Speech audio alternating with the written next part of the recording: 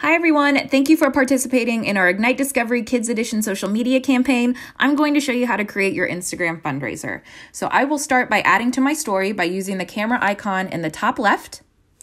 Next, I will choose my video clip. You can also record a video live if you'd like. Using the text feature, I'm going to write my caption. For the sake of time, I'm pasting one.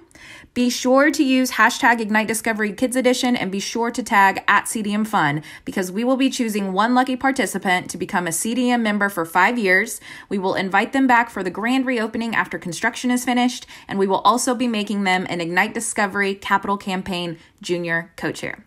Next, I'm going to add my donate button by using the sticker feature. Choose donation. If CDM Fun doesn't immediately pop up for you, you can search for it using the search bar. I'm going to move it down a little bit.